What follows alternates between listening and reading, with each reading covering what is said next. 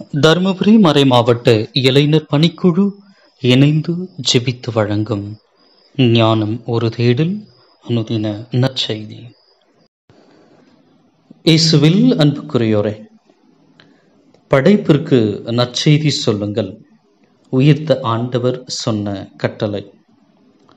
உலகெங்கும் சென்று நற்செய்தி சொல்லுங்கள். என்ன நற்செய்தியை சொல்வது? இயேசு உயிர்த்தார் என்று. இயேசு சிலுவையில் அறையப்பட்டார் என்று. இயேசு சிலுவையில் மறித்தார் இறந்தார் என்று அறிவியுங்கள் என்கிறார். அவருடைய ஒரே ஒரு பெயர்தான் நாம் மீட்படைய வானத்தின் கீழ் நமக்கு கொடுக்கப்பட்டது. அவர் பெயரை அறிவிப்போம் அழுத்தம் திருத்தமாய் அறிவிப்போம் திரும்பும் திசையெல்லாம் நாம் அவர் பெயரை அறிவிப்போம். ஏப்ரல் மாதம் பதினெட்டு திருத்துதர் பணிகள் அதிகாரம் நான்கு இறைவார்த்தைகள் பதிமூன்று முதல் இருபத்தி ரெண்டு வரை. பேதுருவும் யோவானும் கல்வி அறிவற்றவர்கள் என்பதை தலைமை சங்கத்தார் அறிந்திருந்தார். அவர்களது துணிவைக் கண்டு வியப்படைந்தனர். அவர்கள் இயேசுவோடு இருந்தவர்கள் என்பதையும் உணர்ந்து கொண்டனர். நலம் பெற்ற மனிதர் அவர்களோடு நிற்பதைக் கண்டதால் அவர்களால் ஒன்றும் மறுத்து பேச முடியவில்லை. எனவே அவர்கள் பேதுருவையும் யோவானையும் சங்கத்தை விட்டு வெளியேறும்படி ஆணையிட்டு பின்பு தங்களுக்குள் இது குறித்து கலந்து பேசினார்கள். நாம் இந்த மனிதர்களை என்ன செய்யலாம்? ஏனென்றால் குறிப்பிடத்தக்க ஓர் அரும் அடையாளத்தை இவர்கள் செய்துள்ளார்கள். இது எருசலேமில் வாழும் அனைவருக்கும் தெரியும். இதை நாம் மறுக்க முடியாது. மறுக்க முடியாது. ஆகவே இச்செய்தி மேலும் மக்களிடையே பரவலாமல் இருக்குமாறு பரவாமல் இருக்குமாறு இந்த இயேசுவை குறித்து யாரிடமும் பேசக்கூடாதென நாம் இவர்களை அச்சுறுத்தி வைப்போம் என்று கூறினார்கள். அதன் பின்பு தலைமைச் சங்கத்தார் அவர்களை அழைத்து இயேசுவை பற்றி எதுவும் பேசவோ கற்பிக்கவோ கூடாது என்று கண்டிப்பாக கட்டளையிட்டனர். அதற்கு பேதுருவும் யோவானும் மறுமொழியாக உங்களுக்கு செவி சாய்ப்பதாக செவி சாய்ப்பதா? கடவுளுக்கு செவி சாய்ப்பதா? இதில் கடவுள் பார்வையில் எது முறையானது என நீங்களே தீர்மானித்து கொள்ளுங்கள்.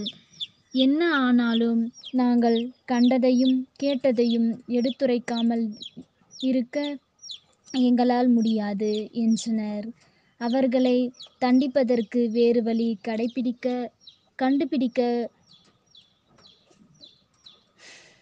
முடியாததாலும் மக்களுக்கு அஞ்சியதாலும் தலைமை சங்கத்தார் அவர்களை மீண்டும் அச்சுறுத்தி விடுதலை செய்தனர்.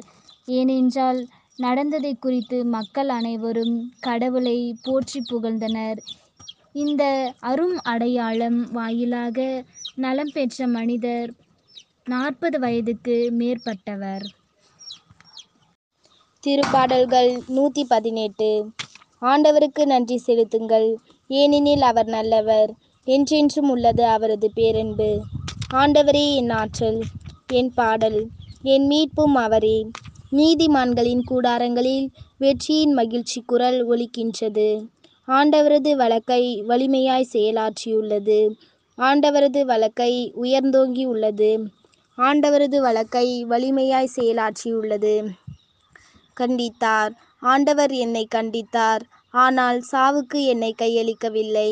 நீதிமான்கள் செல்லும் வாயில்களை எனக்கு திறந்து விடுங்கள். அவற்றினுள் நுழைந்து நான் ஆண்டவருக்கு நன்றி செலுத்துகிறேன். ஆண்டவரது வாயில் இதுவே. இது வழியாய் நீதிமான்களே நுழைவர்.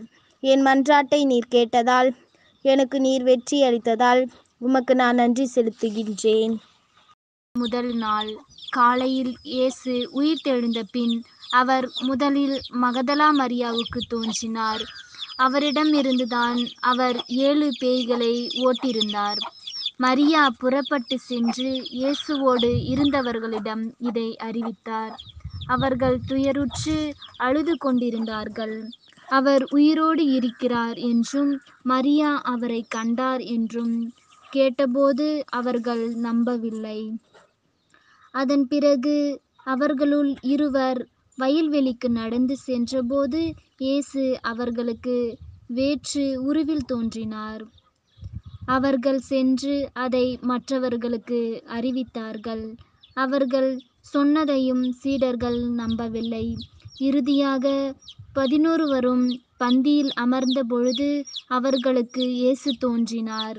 உயிருடன் எழுப்பப்பட்ட தம்மை கண்டவர்கள் சொன்னதை நம்பாமல் அவர்கள் கடின உள்ளத்தோடு இருந்தமையால் அவர்கள் அவர்களுடைய நம்பிக்கையின்மையை கண்டித்தார்.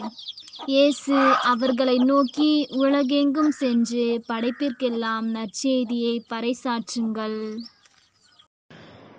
இணைந்து செபிப்போம் நாளும் இறை உறவில் வளர்ப்போம்.